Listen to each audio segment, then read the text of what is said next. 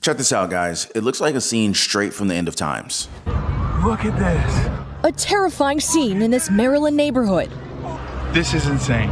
A towering inferno looming over homes. Videos from up close show its intensity. It all started when a tanker truck on a nearby highway overturned and exploded. One tanker truck hauling flammable liquid completely engulfed in flames.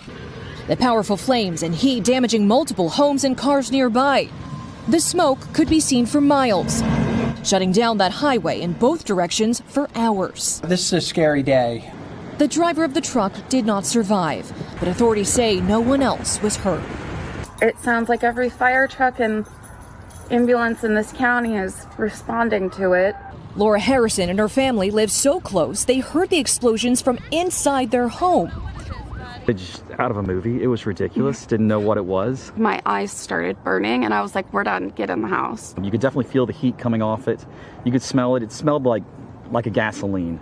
A month after that toxic train derailment in Ohio, we have this an overturned gas tanker that outright exploded on a highway in Maryland, killing one person. And you remember the toxic train company Norfolk Southern, right? Well, barely a month gone by, and they've already added two more major accidents to their name. One is a collision with a dump truck in Cleveland that killed the conductor, and another was another derailment in Ohio, the same state as the previous toxic train derailment, with people in hazmat suits all rushing to the scene. And this one, they captured on video. Check this out.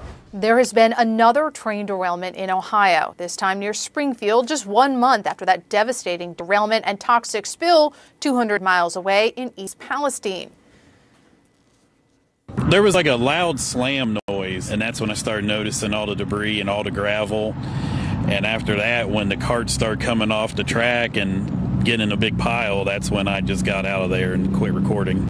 In this latest train derailment, 20 cars went off the tracks a thousand feet from nearby homes. So, according to the data, derailments across rail companies increased in recent years. I wonder if it's the fact that they have like one train conductor per like 150 cars now. I don't know. And you know what has decreased in all of these rail companies? Regard for their people. So, according to this, the rail union actually warned Norfolk Southern about their safety issues way back before all of these train derailments happened. But did they listen? Nope. Nope. Instead, they had President Biden and Congress bail the railroad strike where the union workers could have actually aired their safety mistakes. And now the union is warning that they've been left without enough workers to install new rail safety measures. Meanwhile, probably even more deadly and toxic train derailments and collisions in America in the very near future. But what do you think, guys? How have you been feeling about the good old US of A lately? Drop me a quick comment down below and let me know what you think. Yep, stay safe out there, you guys. And always keep your friends and loved ones close. With this and Jerome Powell turning up the heat with those interest rate hikes, the stock market certainly is not doing too well. The Dow Jones just turned negative for 2023 and newbie investors are getting shaken up a little bit. But you know what? There are still plenty of good reasons why you should invest in stocks and diversify your income streams. Even during these times of uncertainty and crisis, even during a recession. All of that in today's video, so definitely stick with me till the end, guys. And if you own a home, make sure your home is protected. Get your free home warranty quote. There's a link in the description down below this video. It only takes about 15 seconds. So let's talk about that Maryland tanker explosion. Now, one person died after an overturned gas tanker carrying flammable liquids exploded on a highway in Frederick, Maryland. They said it also caused damage to nearby homes and vehicles. City officials had to advise residents to avoid the area. It was pretty serious as folks in the area talked about flames and smoke billowing into the air and the hazardous materials, which were in the line of gasoline and diesel fuel almost flowing into the Monocacy River in Frederick County. And remember, guys, this is just one month after a freight train carrying hazardous chemicals derailed in East Palestine, Ohio, and ignited this days long inferno, spewing poisonous fumes into the air and killed thousands of fish. Six homes, five vehicles, they were all damaged with the tanker explosion fire. The fire spread to a nearby home that is now uninhabitable. Two adjoining homes also were slightly damaged by the heat of the fire, along with three cars. The mayor said that none of the tanker's hazardous materials entered the city's sewer system, but officials will continue to work with state investigators to make sure that there are no lasting impacts. Hmm. A little suspicious. What do you think? What else could they possibly be investigating here? I heard from some Maryland friends of mine who've lived there for 50 years. Apparently, they were rear ended in 2018 right at this very stretch of road between Rosemont and 7th Street. The Maryland Transportation Department, along along with the government officials, have been talking about widening the roads from two lanes to three or four lanes since we were kids. Now, apparently, it's all just been lip service and accidents just continue to happen over the decades on the stretch of road that's from Clarksburg to Thurmont. But let's hope and sincerely pray that they finally make the effort to actually take significant action on our old and dangerous highway system. Hit the like button if you guys agree. Another one in Cleveland, this one from the same company as the toxic train derailment in Ohio, Norfolk Southern. A Norfolk Southern conductor was struck and killed by a dump truck at a steelmaking facility in Cleveland, Ohio. The National Transportation Safety Board also announced that it was launching a special investigation into the company following multiple accidents involving Norfolk Southern dating back to December of 2021. Now, according to Norfolk Southern, officials believe that the conductor was struck by a dump truck as a Norfolk Southern train was moving through a crossing at the facility. The NTSB also noted five significant accidents involving Norfolk Southern over the last two years, with three of them occurring over the past few weeks. Most notably, you've got February 3rd's train derailment. That was over in East Palestine, Ohio. Hundreds of residents were forced to evacuate for several days, and crews later conducted a controlled release of toxic chemicals, including vinyl chloride, due to the risk of the derailment could cause an explosion. Some people say that they're being attacked, and most people don't even realize it. All I can say is that it certainly feels like it, because between this truck collision and the toxic train derailment, Norfolk Southern had another train derailment in Ohio. Norfolk Southern said in an email statement that the derailment of about 20 cars of a 212 car train, it happened as it was traveling southbound near Springfield. According to the company, quote, no hazardous materials are involved and there have been no reported injuries. Our teams are en route to the site to begin cleanup operations, end quote. But I wonder, guys, if there aren't any hazardous materials involved, why do they send so many people in hazmat suits to the area then? Are they sharing all the details with us? U.S. Senator Sherrod Brown, a Democrat for Ohio, he said that he was not satisfied with the company's response to the latest derailment and questioned if the communities in Clark County could have been affected by any type of potential contaminants left in the mostly empty cars. In just the last five months, there have been four train derailments from Norfolk Southern. In case this happens to any of you guys near your area, always try to move upwind of any kind of chemical fire or spill and get as far upwind as you can. Better safe than sorry. Also, turn off your air conditioner or your heat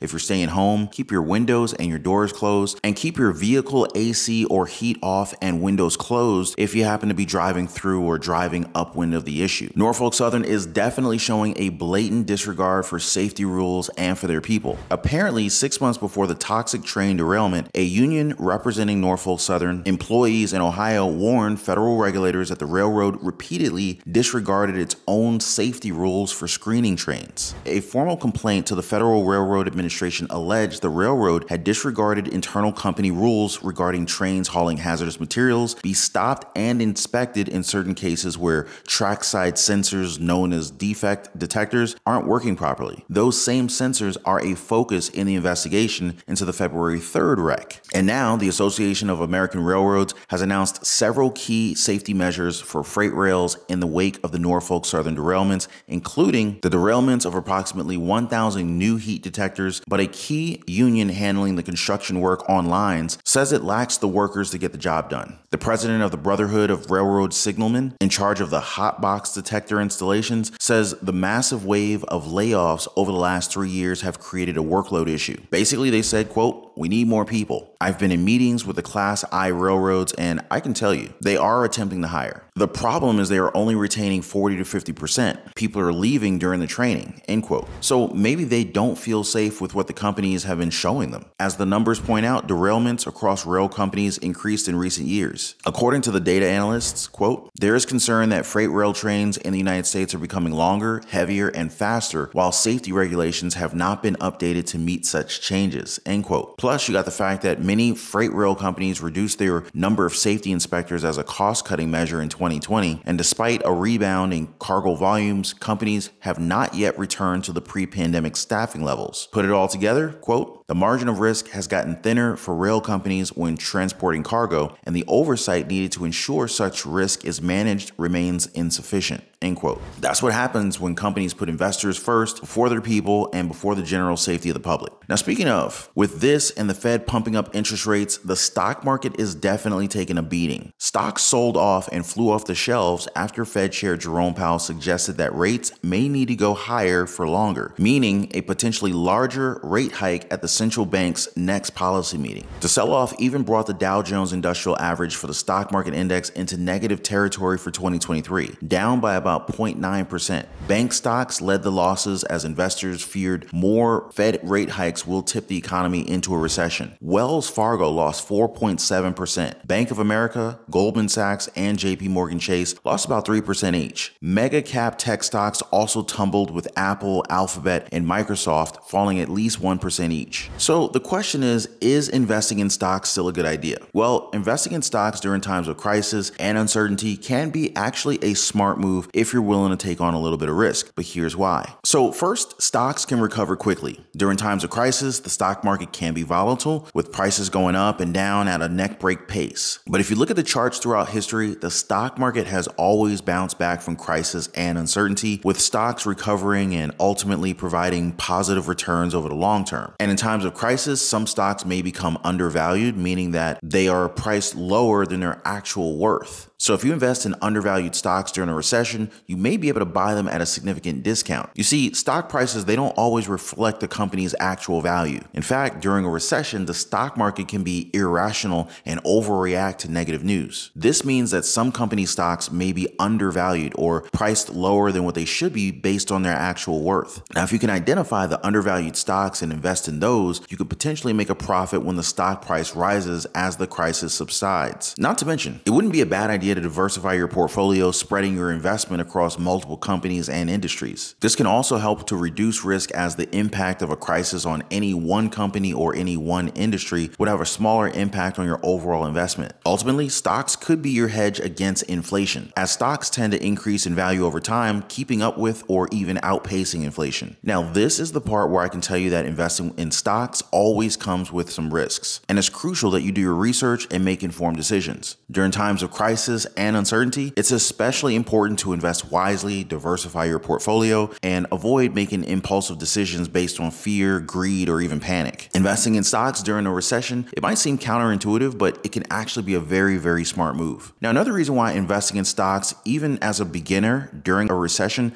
it could be a good idea. And this is because of something called dollar cost averaging. So this is when you invest a fixed amount of money at a regular interval, regardless of the stock price. Now, when the stock price is low, you'll be able to buy more shares with your fixed amount of money. And then when the stock price goes up, you'll be investing at the same fixed amount, but you'll be buying fewer shares. So this can kind of smooth out the ups and the downs of the stock market and give you a better return over the long term. So yeah, let me know if you guys have any questions or if you want to learn more about which stocks to go with right now. Our comment section is always open, you guys. Now, of course, don't forget to hit the subscribe button and also tap that notification bell for your daily dose of the truth and so that you do not miss out on any of my future updates. But there you go, guys as always, another important U.S. update and daily news report for the books. The tanker literally blowing up in Maryland, plus more collisions and derailments coming from Norfolk Southern. Safety is definitely a concern. We also talked about stock market investing and why it is still a good idea even during times of uncertainty, even during a recession, even as a stock market investor, as a beginner, it is still a good time to invest during a recession. In my next video, more news on Capitol Hill and what Biden's up to, plus this big Fed meeting that is about to happen. Make sure you guys catch that one. But for now, appreciate you guys watching. Please be kind to one another, and I'll see you in the next one.